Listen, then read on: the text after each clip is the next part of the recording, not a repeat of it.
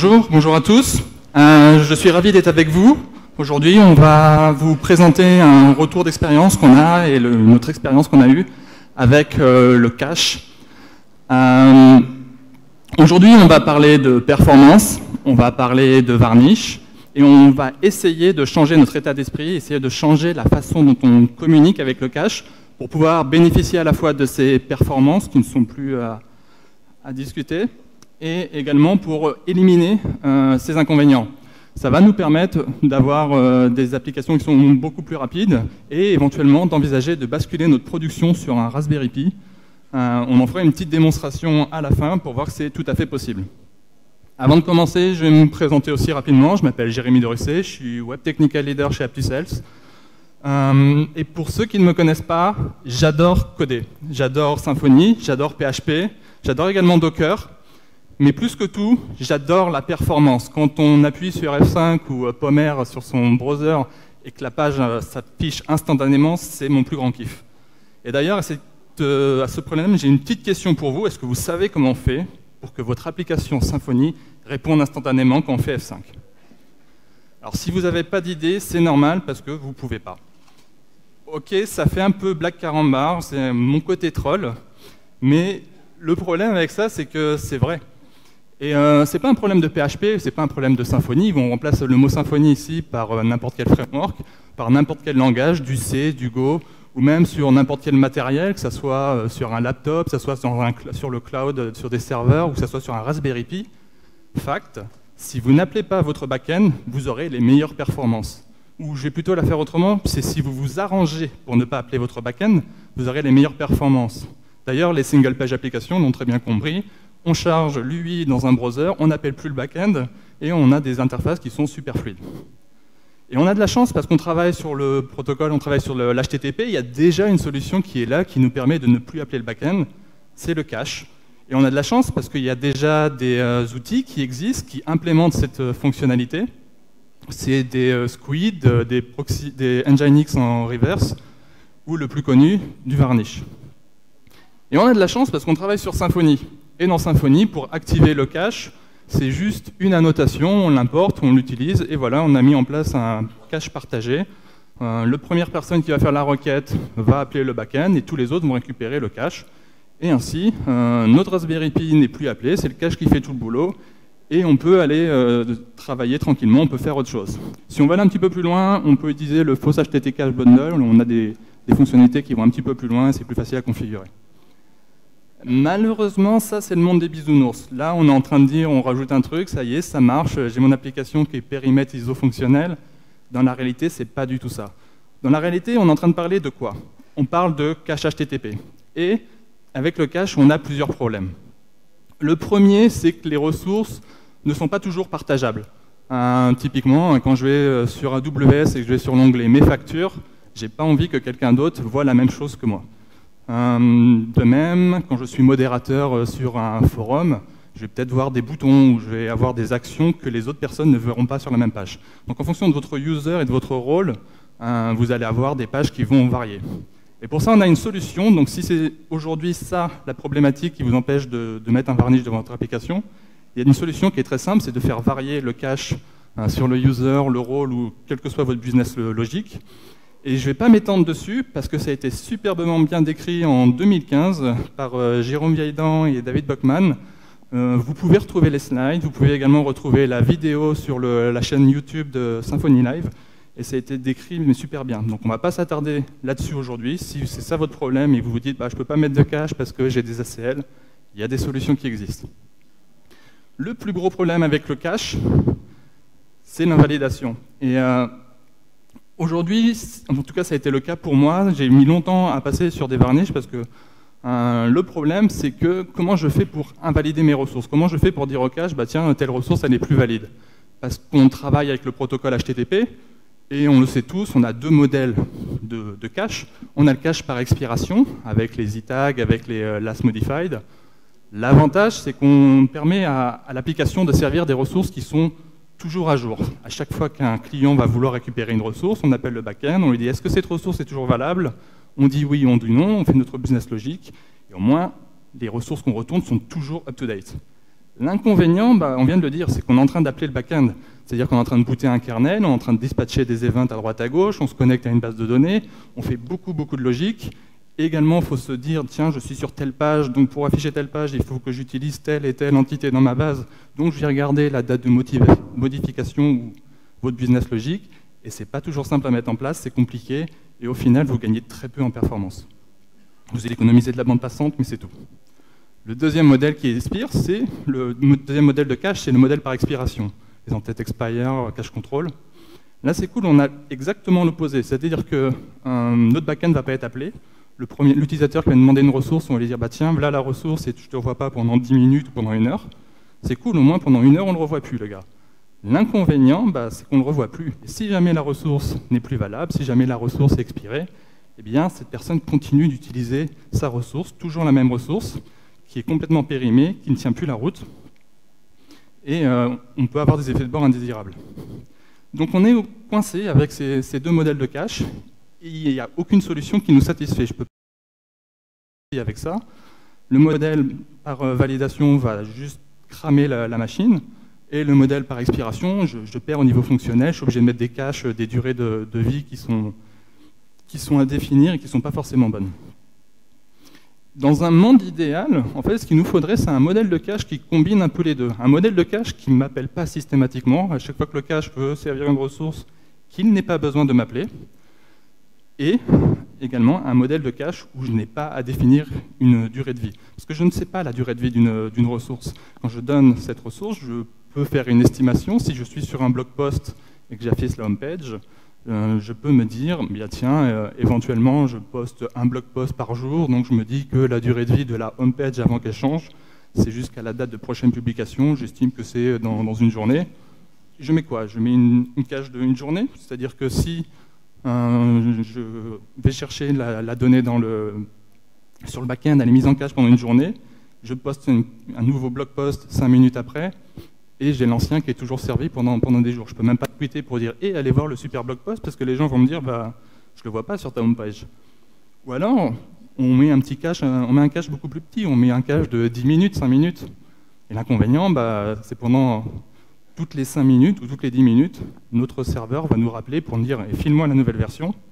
Même si elle n'a pas changé pendant, une journée, bah, on va être appelé plein de fois pour rien, parce que la ressource est toujours la même. Donc on est un peu bloqué, on ne sait pas quoi faire. On a ce, cache qui est là à notre disposition, qui est capable d'encaisser une supercharge, mais on ne peut pas l'utiliser sans perdre des fonctionnalités. Mais, mais on a de la chance, le monde n'est pas si noir, parce qu'on a deux, trois choses qui vont nous être utiles. La première, c'est que Varnish euh, possède une fonctionnalité, on est capable d'interroger Varnish pour lui dire « purge-moi certaines pages ». Donc on peut faire des requêtes pour lui dire « supprime-moi certaines pages ». Mettez ça juste dans un coin de la tête, on y revient après. Le deuxième point, c'est que le back-end sait quand vos ressources sont modifiées. Généralement, dans la plupart des cas, c'est lui qui gère les entités, qui gère les suppressions, les modifications, et donc il sait lorsqu'une ressource est modifiée. Et le troisième point, c'est que les réponses que l'on fait sont construites à partir d'un template, généralement ils ne changent pas entre deux mises en prod, et à partir de ces ressources. Et là, si vous le permettez, je vais m'arrêter quelques instants pour juste reprendre ces points-là, parce que pris individuellement, ces points sont anodins. Euh, je pense que j'apprends rien à personne. En revanche, quand on les combine ensemble, on peut changer notre façon d'appréhender le cache. C'est-à-dire que jusqu'à présent, on voyait le cache comme un service externe qui se mettait au-dessus de notre, de notre back-end, qui, quand il le décidait, appelait le back-end pour récupérer une ressource. Et ensuite, servez cette ressource, toujours, toujours, encore et encore la même ressource, à ses utilisateurs, jusqu'à ce que la ressource expire. Avec ça en tête, on change de fusil d'épaule. Et on permet au back-end de dire, bon, ok, le cache, je te donne cette réponse, ça, ça ne change pas. En revanche, ici, c'est moi qui fais la loi. Ici, c'est moi qui commande, et c'est moi qui te dis quand il faudra supprimer la ressource, c'est moi qui te dis quand tu arrêtes de la servir aux utilisateurs. Et ça, ça, ça change tout. Parce qu'on passe d'un mode où on a le cache qui est en avant et qui s'appuie sur le back-end pour servir des ressources, à un mode où c'est votre back-end, votre application qui prend le contrôle et qui utilise le cache comme un outil dans sa boîte pour se protéger euh, des utilisateurs. Et le back-end en a d'autant plus sa légitimité que dans votre application, c'est lui qui gère les ressources. C'est lui qui sait euh, lorsqu'une ressource est créée, lorsqu'une ressource est supprimée. Et donc implicitement, c'est lui qui sait euh, lorsqu'une page qui a été créée euh, précédemment devient obsolète. grâce à ça, on va pouvoir mettre en place un cache au-dessus de notre application qui va prendre la charge parce qu'il est fait pour ça, il, il encaisse très bien la charge, et qui en plus a l'avantage de ne contenir aucune donnée obsolète, parce qu'au fur et à mesure qu'elles deviennent obsolètes, on les supprime. Comme il ne contient aucune donnée obsolète, il peut les servir aux utilisateurs, et du coup, il n'a ni besoin d'appeler le backend pour savoir si la ressource est bonne, parce que par définition, elle n'est pas obsolète, elle est bonne. Et en plus, il n'a pas besoin de définir un TTL euh, aléatoire pour dire bah, tiens, je vais la garder 10 minutes ou une heure, puisque de toute façon, même dans une heure, la ressource sera toujours valable. Si la ressource est là, c'est qu'elle est bonne.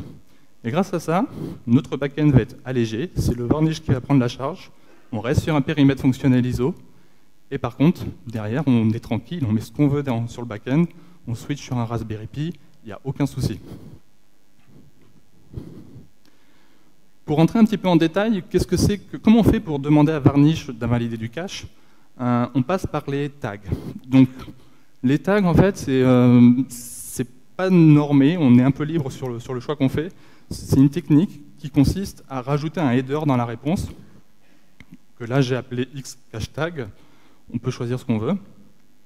Et le principe, c'est qu'à chaque fois qu'on va nous interroger, on va retourner une réponse et on injecte quelques headers.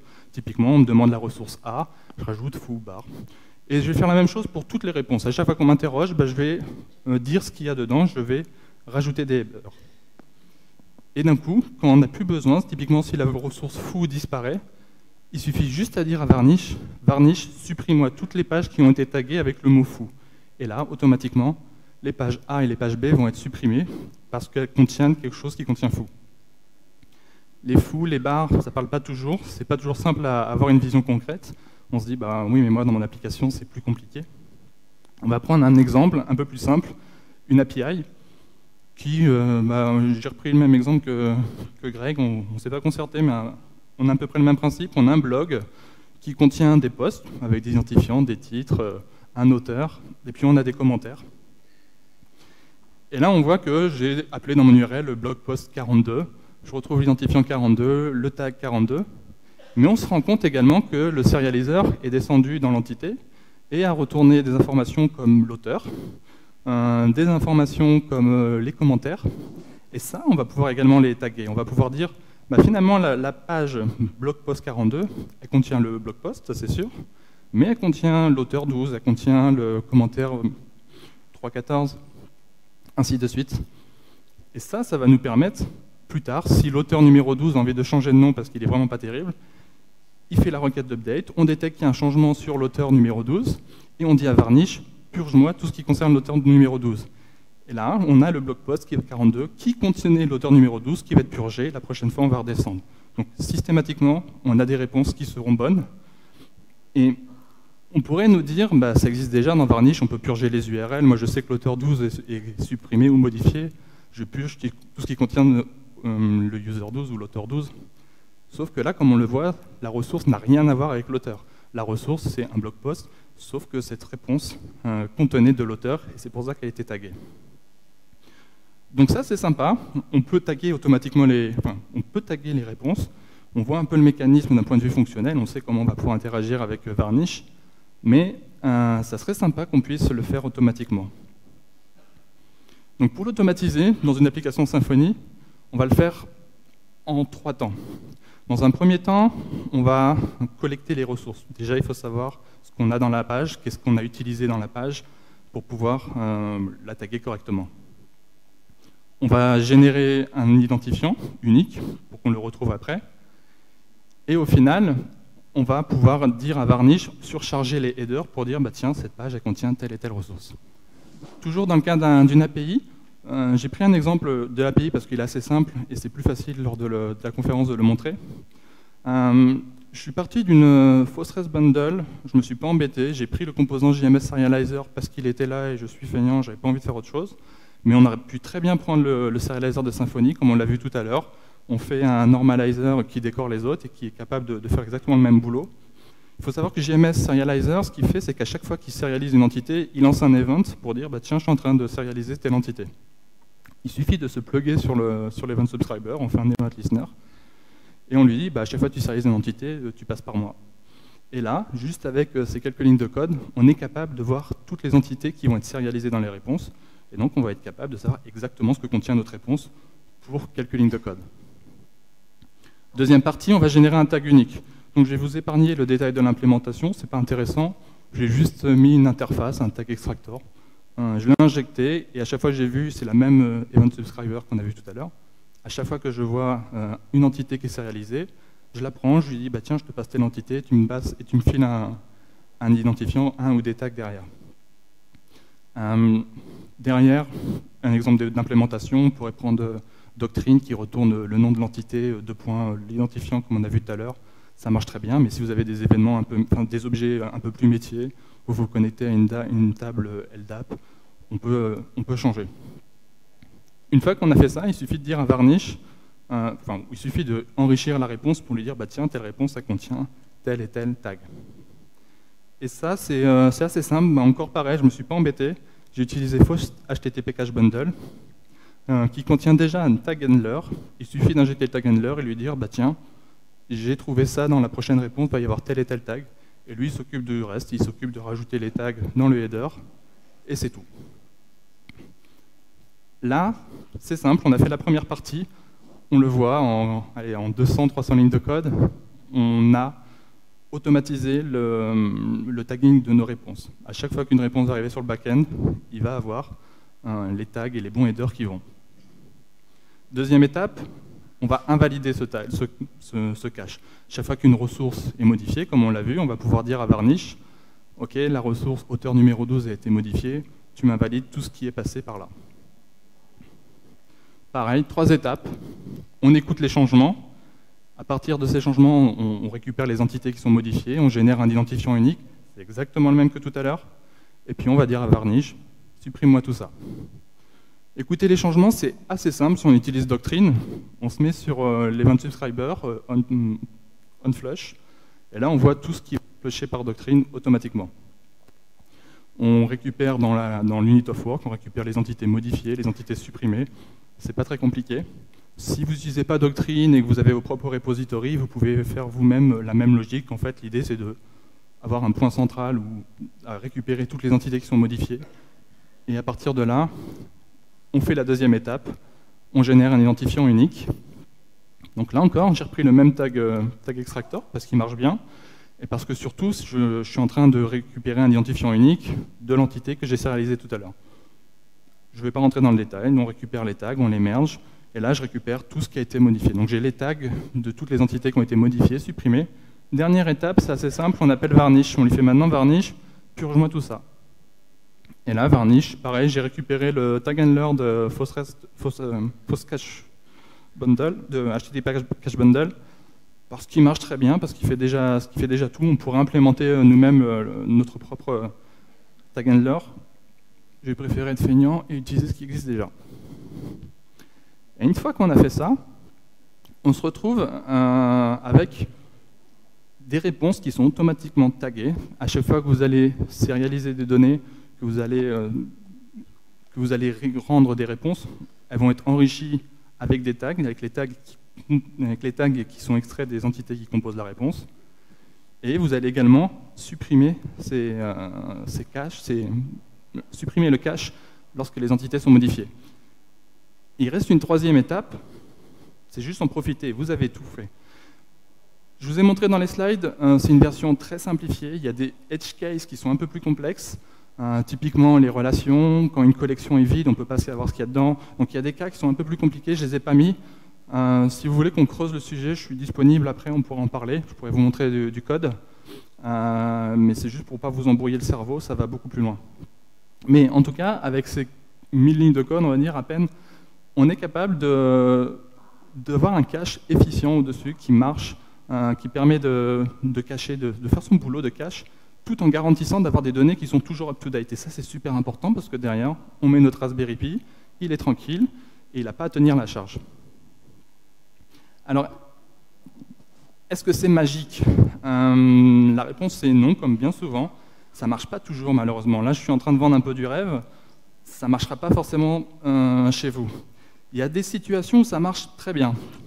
Comme tous les caches, quand on a un nombre de hits qui est très supérieur au nombre de, de miss, ça marche bien. Sinon, à chaque fois qu'on a un miss, on est en train d'appeler le back-end. Donc forcément, c'est le Raspberry Pi qui se prend tout dans la, tête. Il ne tiendra pas la charge. Donc ça, comme tous les caches, quand le nombre de hits est très supérieur au nombre de miss, ça marche. Euh, ça marche également quand on a un nombre de lectures qui est très supérieur au nombre d'écritures. Pour la même raison, euh, on a vu que lorsqu'on écrivait, on purge le cache. Si on fait que des écritures, euh, l'application va passer son temps à purger varnish. Donc le nombre de hits va baisser. Et donc on retombe dans le cas premier, on va avoir un nombre de hits qui est inférieur et on aura un cache qui ne sera pas efficace. Et ça marche bien aussi, et ça c'est beaucoup plus compliqué, quand l'application est capable de savoir les ressources qui ont été utilisées pour construire la réponse. Et ça, c'est le point qui est le plus difficile, parce qu'on l'a vu sur les API, c'est simple. D'ailleurs, j'ai pris les API parce que c'est simple. On met un event subscriber sur euh, JMS et voilà, on voit tout passer. Si on est en train de faire des pages Twig, euh, ça va être plus compliqué. Il va falloir récupérer les réponses, les, entités qui ont été utilisées pour euh, générer le template Twig. si on passe par de la DTO, il faut voir ce qui a été converti. C'est pas si simple. et il y a aussi un autre cas, c'est que parfois les pages sont générées euh, avec des entités qui n'apparaissent pas dans la réponse. Je prends un exemple, euh, je veux le top 5 de mes clients. Je vais avoir une réponse qui va obtenir le client de chaque client avec son identifiant, son nom, son adresse, son numéro, j'en sais rien. Donc plein d'informations sur le client. Par contre, pour avoir le top 5 des clients, j'ai peut-être requêté ma base de commandes, euh, l'état des factures, j'aurais fait plein de requêtes sur des entités qui n'ont rien à voir avec le client et elles ne seront pas dans la réponse. Et avec ce qu'on a vu là tout à l'heure, bah, j'aurais tagué ma réponse avec les informations sur le client. Par contre, j'aurais rien sur les commandes. Et si une nouvelle commande apparaît, ça ne va pas purger mon cache. Mon cache va toujours continuer à servir le top 5 des clients qui, qui a un certain âge, jusqu'à ce qu'un client change. Éventuellement, le cache sera recalculé. Mais par contre, il aurait été faux pendant un certain temps. Donc la difficulté, ça va être là, ça va être de dire, pour le CRUD assez simple, ça marche. Euh, quand on fait des requêtes un peu spéciales, il faut peut-être creuser un petit peu euh, pour, euh, pour essayer de, taguer proprement la réponse et pour ajouter les, tags des entités qui ont servi à construire la, réponse. Et un dernier point, ou plutôt plusieurs derniers points, ça ne marche pas dans certains cas. Euh, typiquement, le gros, gros problème de ça, c'est que les opérations ne sont plus atomiques. Vous perdez le côté acide.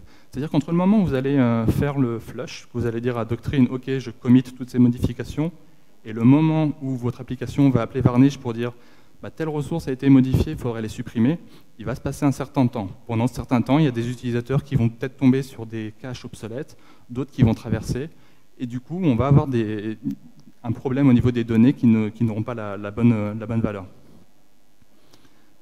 L'inconvénient également, c'est que votre backend, c'est une des conditions, doit gérer les écritures. Doit gérer ou doit être notifié quand il y a des écritures. Si vous avez deux backends euh, qui sont en train de faire des modifications sur les ressources, vous ne serez pas capable euh, de savoir ce qui a été modifié, donc vous ne serez pas capable d'invalider le, cache. Votre backend, un petit point moindre, doit connaître votre infrastructure, il doit savoir quels sont les varnishes, les varnishes qui sont juste au-dessus de lui, mais également s'il y en a d'autres intermédiaires, de savoir où est-ce qu'il doit purger le cache, donc il doit avoir une connaissance de votre infra. Et le dernier point, c'est que ça ralentit les écritures. À chaque fois qu'on va faire une écriture, on va demander à Varnish de, purger le cache, et donc automatiquement, on va ralentir les écritures. Mais une fois qu'on a répondu à ça, si, jamais on rentre dans ce cadre, on n'a plus qu'à profiter, on n'a plus qu'à utiliser notre application, et euh, ça marche très bien. On va faire une petite démo d'ailleurs pour le montrer. Donc pareil, j'ai pris les, commentaires et les blog posts parce que ça marche très bien. Euh, donc pour ça, j'ai pris du Symfony, euh, Symfony en mode dev. Mon backend n'est pas appelé, donc d'ailleurs je m'en fiche. Des niveaux des perfs à ce niveau-là. Euh, je me suis mis du Doctrine Bundle en mode Fetch Lazy, donc pareil. J'ai pris le, plus mauvais des cas, je dois avoir des requêtes dans des boucles. C'est pas grave, mon backend n'est pas appelé. Euh, pour la démo, j'ai pris du Phosphorus Bundle, du GMS Serializer pour les raisons qu'on a vues tout à l'heure, le Cache Bundle aussi. Et juste pour avoir une petite interface un petit peu sympa, parce que les API, c'est pas toujours, pas toujours cool, j'ai utilisé Marmelabs Admin Address. C'est une interface React qui se, plug, qui se plug sur des API. Ça marche à une époque, on avait ngAdmin qui faisait ça en Angular, donc là il y a la même chose en React. Donc ça permet en 5 minutes d'avoir une petite interface un peu sympa. Donc là, généralement, c'est là que ça ne marche pas. Donc vous allez voir, ça va aller très très vite. On est sur le cache. Et là, c'est l'effet démo, ça ne marche pas. C'est normal. Ah, non, je sais. J'ai oublié de raquer la prod. Donc la prod, c'est ça. Euh, forcément, ça ne pouvait pas marcher, c'était pas branché. Donc je dois avoir un petit downtime chez moi, je vais me faire engueuler. Alors pour ceux qui sont au fond euh, et qui ne voient pas, ne vous inquiétez pas, devant c'est pas mieux.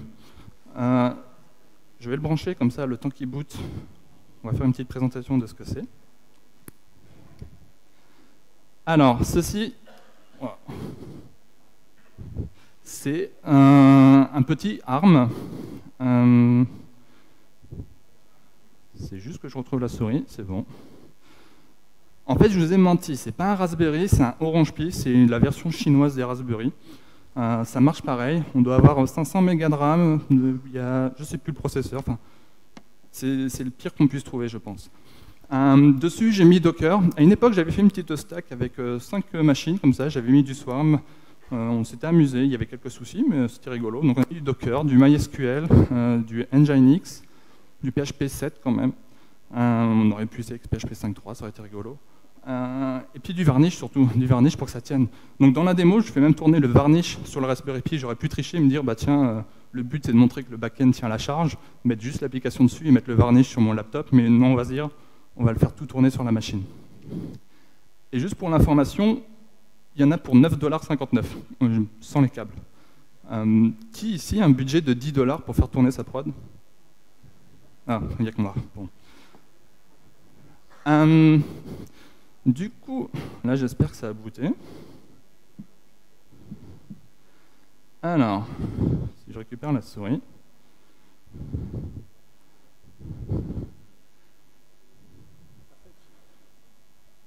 Ça tourne. Ok, ça marche. C'était une fausse peur en fait. Euh, et là, vous voyez que euh, à chaque fois que je vais faire une requête, bah, ça tourne en haut à droite, c'est un peu lent, bah, ça tape sur le, sur le Raspberry. Et euh, c'est une vraie application, j'ai de la pagination, ça n'a pas marché. Mais par contre, une fois que j'ai le cache, on le voit, c'est beaucoup plus rapide, je clique sur refresh, c'est instantané. Et comme je vous le disais, ce qui est important, c'est d'avoir quelque chose qui est fonctionnel, qui reste fonctionnel, c'est-à-dire qui, reste à jour. Donc typiquement, là j'ai pris la liste des conférences, vous les retrouvez sur votre badge, je ne me suis pas embêté, j'aurais pu mettre du lorem ipsum. Euh, mais vous allez voir que si je modifie euh, ça, et que j'appuie sur Entrée, ça enregistre, ça purge, et là automatiquement j'ai ma liste qui récupère et qui est à jour. C'est automatique. Donc il n'y a pas l'effet de cache qu'on aurait pu avoir avec une application standard où on dit bah, tiens pendant 10 minutes je te sers les anciennes données. Et pareil, je ne me suis pas embêté à dire ah tiens j'ai modifié le blog post, donc il faut aussi modifier le commentaire qui contient des informations sur le blog post. Ça devient complexe. Euh, le commentaire, est-ce que je vais le modifier? Non, on va laisser. Donc là, on a des commentaires avec des liens. Donc il y a des relations, ça ne s'agit pas que des données CRUD à un seul niveau, ça s'agit également les relations, comme on l'a vu tout à l'heure avec euh, Greg sur le composant serializer. Ça marche très très bien. Euh, et du coup, je me suis fait un petit benchmark. Donc comme tous les benchmarks, ça vaut ce que ça vaut. L'idée, c'est sur ma machine, j'ai démarré des threads, en, enfin des threads, hein. j'ai démarré des, des, des collables JavaScript qui bouclent et qui font des requêtes REST euh, sur l'URL qu'on voit là. Euh, et on voit qu'on atteint péniblement les 5-6 euh, requêtes par seconde. Donc là, on voit les headers, on voit, les, on voit le body, on voit même les tags. Donc là, je suis en train de demander la page slash command slash 1. Vous voyez bien, vous voulez que je zoome? Non, on va, on va laisser là parce qu'après, il y a autre chose. et du coup, on va activer juste Varnish plutôt que d'appeler directement sur l'application. Je passais par un autre port, je vais appeler juste Varnish. Et on va juste voir la différence quand on appelle Varnish qui tourne sur un Raspberry Pi et qui retourne de la donnée. On est à 1000 requêtes secondes. Pas mal. Euh, faire F11. ça, ça marche pas.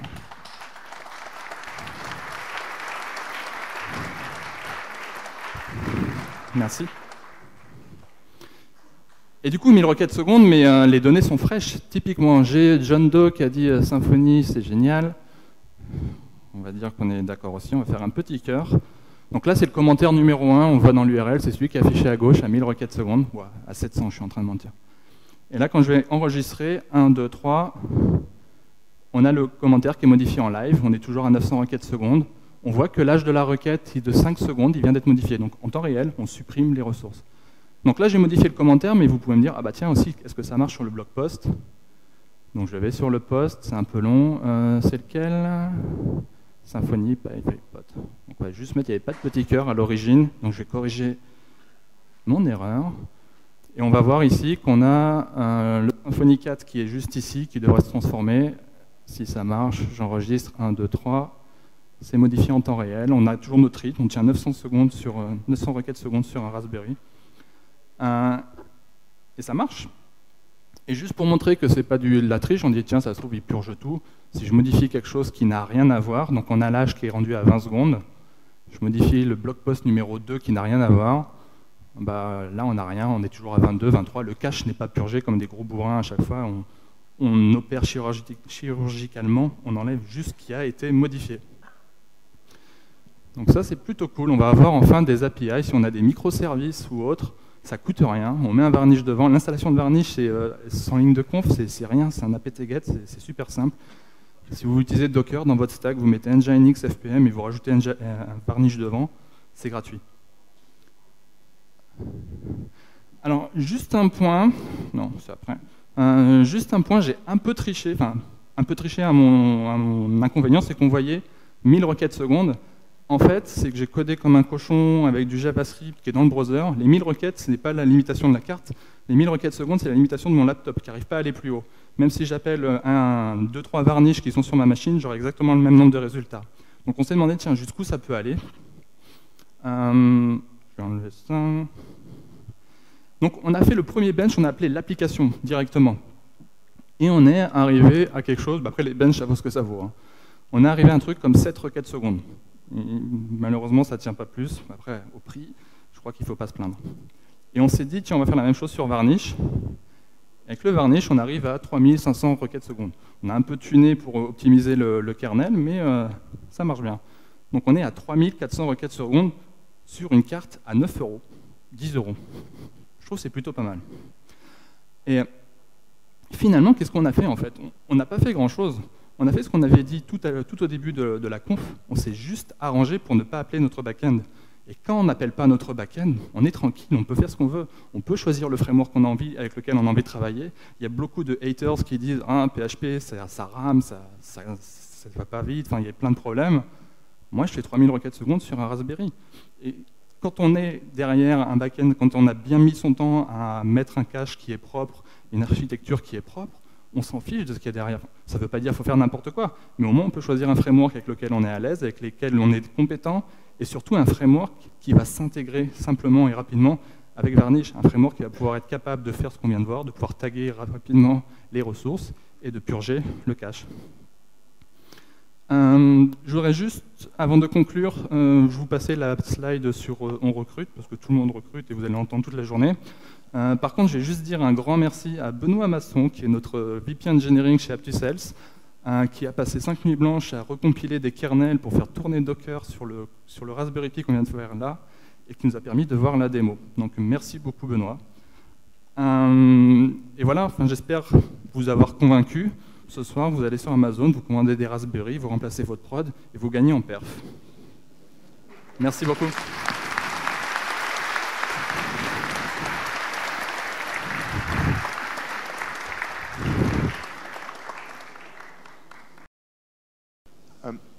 Du coup, il faut quand même un peu customiser la conf varnish pour dire qu'il est capable ah d'aller euh, choper le bon tag qui va bien. Euh. Exactement, oui. Là, je vous ai montré le côté PHP parce qu'on est dans la Symfony Live, on connaît bien PHP, c'est plus simple.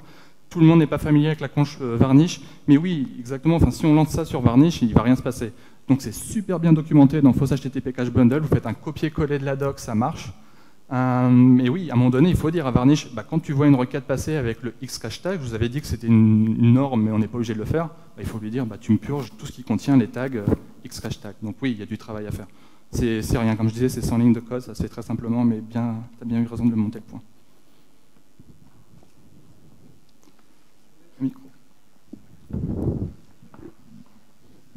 Est-ce qu'il y a une limitation en termes de nombre de tags?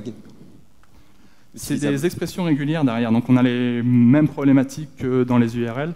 Plus vous allez avoir des tags, plus, enfin, ou des, donc plus il y a de tags, comme c'est mis sur une string, plus la chaîne sera longue, et donc plus la requête pour dire purge-moi les tags va prendre du temps.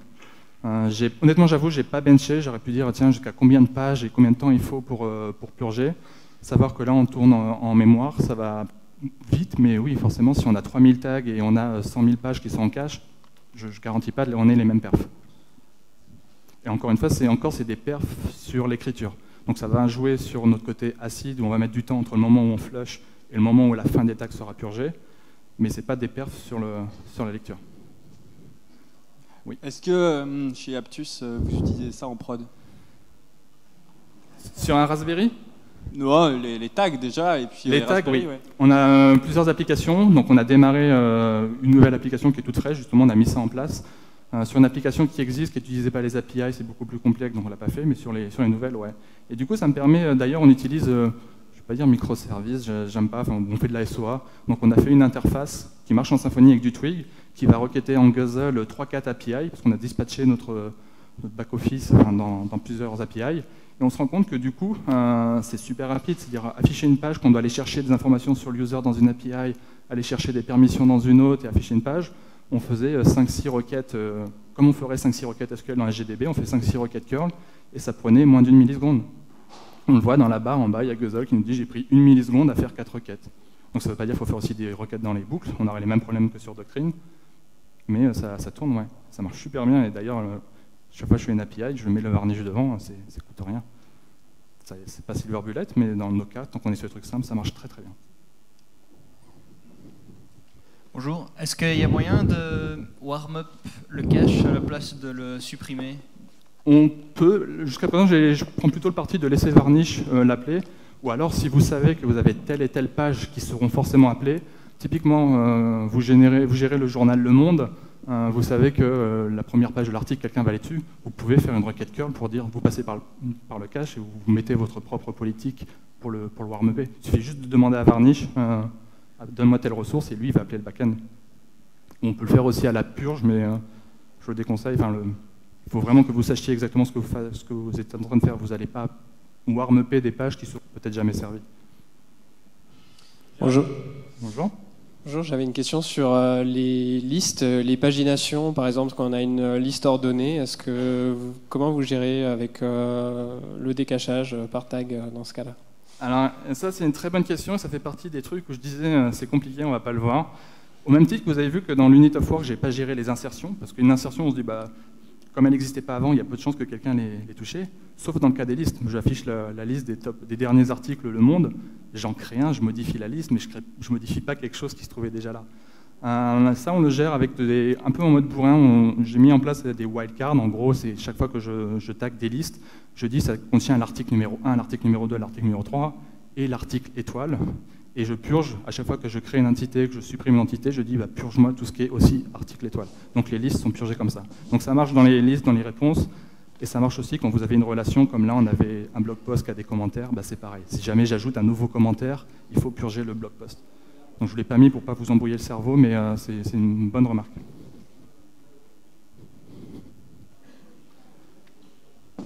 Si vous avez d'autres questions, euh, je suis juste derrière, on peut en parler plus longuement. Juste une parenthèse, on parlait de Dunglass API Bundle euh, juste avant, à savoir qu'il y a une PR qui est en cours pour que ça soit intégré. C'est pas Dunglass, c'est API Platform. J'ai trop l'habitude.